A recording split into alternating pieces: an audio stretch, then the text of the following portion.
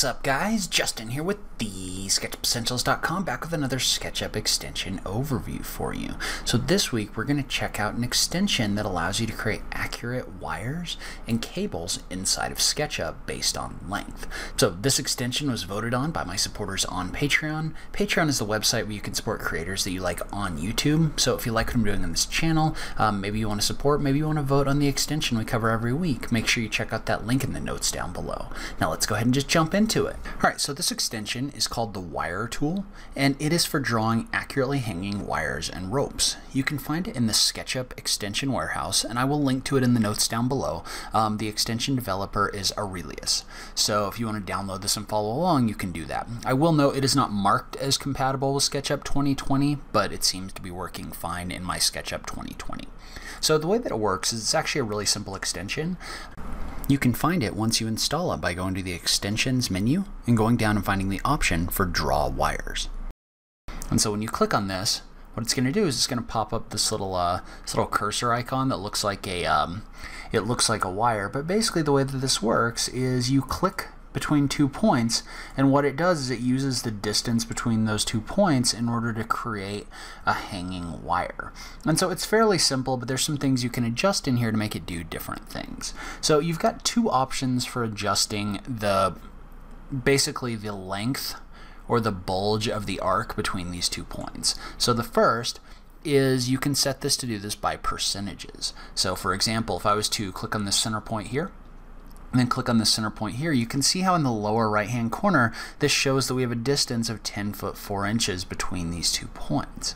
However, if I was to type in a percentage, so let's say I was to type in 140 and then a percent sign and hit the enter key and uh, then uh, let's go ahead and move our mouse off of this point and then move it back you can see how my preview gets a lot longer so what this is doing is this is taking the length between these two points, it's multiplying it by 140% and it's drawing an arc between those two points based on that.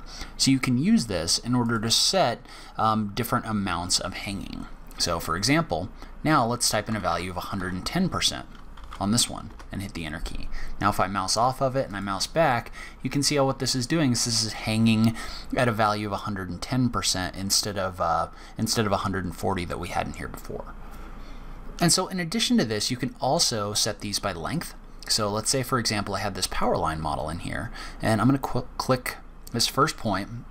You can see how this gives me a distance of 25 feet. Well, if I was to type in a value, so let's say I typed in a value of 35 feet and hit the enter key, then we'll move our mouse off of this point and move it back, you can see how this gives me a line that has a length of 35 feet.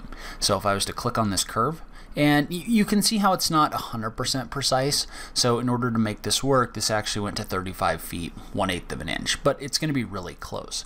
So you can also dictate the distance of this hanging line. So if we were to run this again, and for this one, let's say it's not going to hang quite as far. So this gives me a distance of 25 feet. Let's say this is going to hang maybe 28 feet. So I'm going to type in 28 feet hit the enter key, notice this tool is still active when I do this. And then I'm just going to move my mouse off and back. And the only reason I'm moving my mouse off and back is because it updates the preview so I can see how long this is. So for example, if I wanted this to be 40 feet, you can see I can do the same thing where when I move my mouse, I can actually preview this while this tool is still live. So I'm going to put this back to 30 feet hit the enter key, and then click on this point right here. So you can see how this allows you to really quickly create these hanging wires between different points. And then one other function this tool has is it also has the ability to dictate the number of segments in your line. So for example, you may want this to be a really smooth curve. Well, right now, if I click on these, you can see how it's creating them with 24 segments inside of the curve. Well, let's say that I wanted either more or less segments. So let's do less first. So if I was to go to extensions, draw wires, and then click on this point, and then type in a value of, let's call it 6 for right now. So we're going to type in 6 S, make sure to put the S after it and hit the enter key. And then notice how this adjusts so that it creates a line with only six segments in it. So while before we had a line with 24 segments in it, this one has six segments in it. So it's a lot of, um, while it's blockier, it's also less edges in here.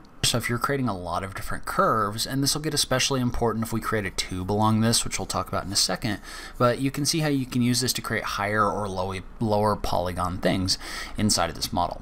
So let's do this the other way now, where if we were to run this, and now let's single click, and then like, let's type in a value of 48S. So make sure to type in the S after the value and hit the enter key. Well notice now, if you look at this from the side, this is a very smooth curve, where it wasn't really before. So now if we type, or if we click in here, and you look at this wire, this new wire that we created gets created with 48 segments in it. So this is a smoother curve because it has more segments in it. Now one thing I will note is I would recommend staying fairly low, keeping your edge count on these kind of low, mostly because these are going to be details in your background. So you're not going to pay a whole lot of attention to these. So you don't need to create a whole bunch of different segments and things that SketchUp needs to render out. Um, so there's really not a reason to go super high segment count on these, so just be aware of that when you're creating these. And then one other thing I want to point out is so you can use this tool in order to create these wires, and if you're just creating a view inside of SketchUp, um, no big deal. These look great. Um, you know, you could put these anywhere in your model. They obviously visually indicate where your wires would be. However, if you were to do something like rendering this out, these wouldn't show up because they're single edges. And so what I would recommend for something like this, and I wouldn't recommend doing a lot of this because it can add a bunch of geometry to your model, but what you can do is there's an extension which I will link to a video about in the notes down below called Lines to Tubes what lines to tubes does is that converts your arcs into cylinders. So what you can do is you can set this to follow you on curves, create groups for your different tubes. You can also set the diameter and the number of segments in the circle that it uses in order to create this tube. Then you can click on OK. And what this would do is this would create a little tube inside of your model. So now, if we were to render this out, this would actually show up in here as an actual line. So you can use this to quickly add geometry in here, but I would say only use this in areas where you absolutely need to do it because you don't want to create a whole bunch of extra geometry. Like there's a bunch, if I was to if I was to open up this tube that we created, you can see how it has 440 entities in it.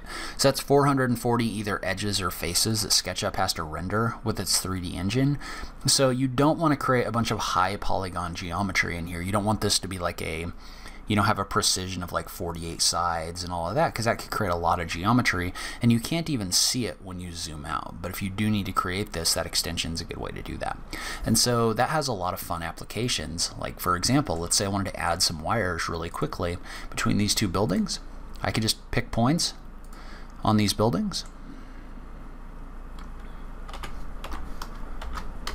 And then type in a percentage in order to quickly add hanging wires. So that's where I'm going to end this video. Obviously a fairly simple extension, but I think there's a lot of fun applications that can go along with this. Um, if you like this video, please remember to click that like button down below. If you're new around here, remember to click that subscribe button for new SketchUp content every week. Um, if you like what I'm doing on this channel, please consider supporting me on Patreon. Every little bit helps, even if it's only a dollar a month. So make sure you check out that link in the notes down below. But in any case, thank you so much for taking the time to watch this. I really appreciate it, and I will catch you in the next video. Thanks, guys.